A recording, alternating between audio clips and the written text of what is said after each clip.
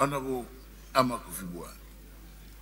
Thank you, Mr. Speaker. Mr. Speaker, I rise to ask the Minister of Roads and Highways whether the CMA in Crawford and Sasitre in Nasi Road is on the contract.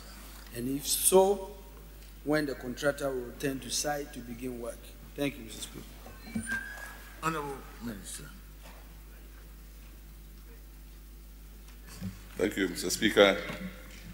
Mr. Speaker, the Esiama-Nkroful-Aiyinasi Road is located in the Ellembelle district of the Western region.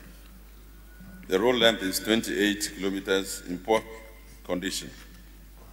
The road tra traverses several communities in the oil and gas enclave in the Western region. Mr. Speaker, the Esiama Talbukazo Road project was awarded on contract for partial reconstruction in September 2015. The contract, the contractor on the project discontinued with the works, citing non-payment of work done as the main reason.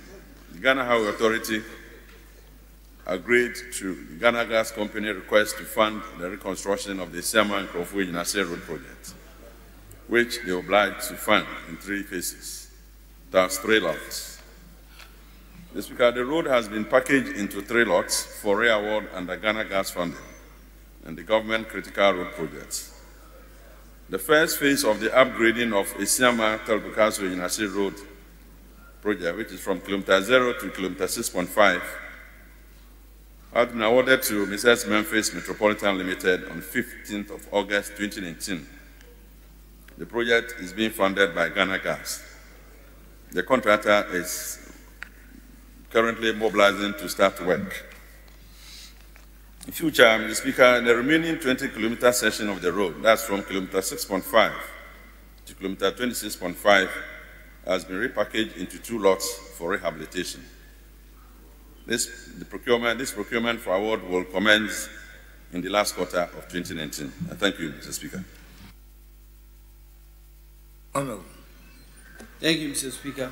Mr. Speaker, in the minister's answer, the contract was awarded on the 18th of September 2015 under the government of Ghana.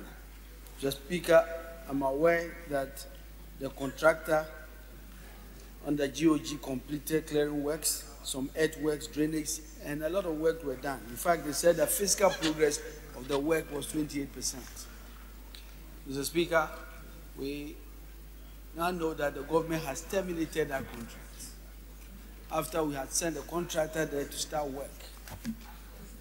Mr. Speaker, in the minister's answer, it's also clear that Memphis, the contractor, is only doing 6.5 kilometers of the road.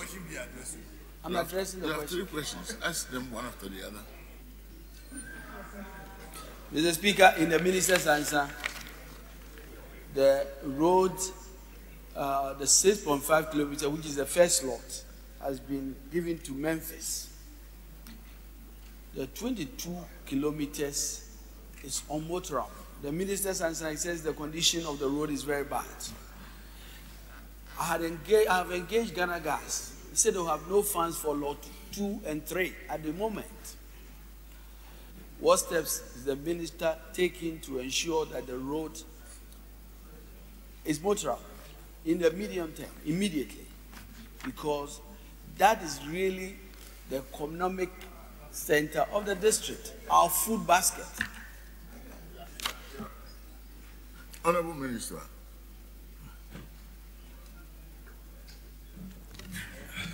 Honorable Speaker, very complex question, but I'll try and address them all. The first 6.5 kilometers, which has been awarded to Memphis, on Monday, the Ghana Highway Authority is taking the contractor to site to give him possession. So at least 0 to 6.5 will be under the care of the contractor, is Memphis. The remaining 20 kilometers, which is also in a very poor surface condition.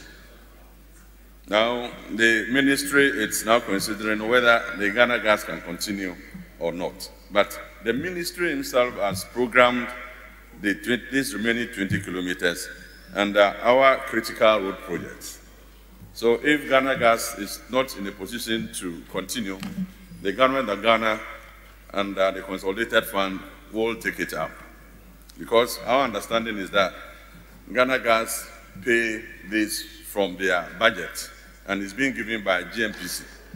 So if Ghana Gas is not able to continue, the 20 kilometers will be handled by the Ghana government.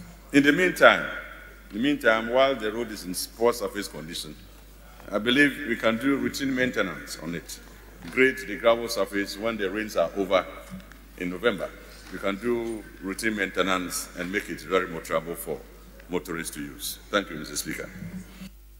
Thank you. Any further? Mr. Speaker, Mr. Speaker, in the minister's answer, 6.5 kilometers is going to be tackled by Ghana Gas. And if Ghana Gas cannot fund lot two and three, then the government will consider bringing the road back to GOG. Mr. Speaker, the minister is aware that the contract was already, already given to, under GOG in 2015. And contractor went to site. And then the government terminated the contract and said Ghana, uh, a limited liability company, which is already so indebted, must undertake that road. Mr. Speaker, can the minister on the government of Ghana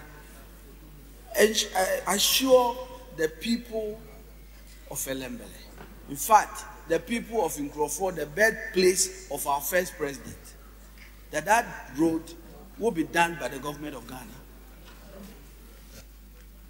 Honorable Minister, assurance. The Speaker, the first project, the government terminated it because the contractor discontinued with the works because of non-payment. Please.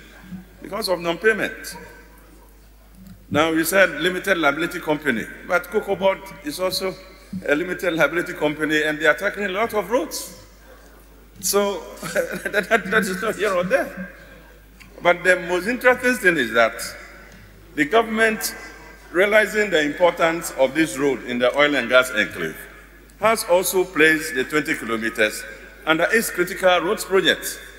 So, if Ghana Gas is not in a position, the Ministry of Roads and Highways is in a position to take it on and award it and use the consolidated fund to finance the project. I thank you very much, Mr. Speaker.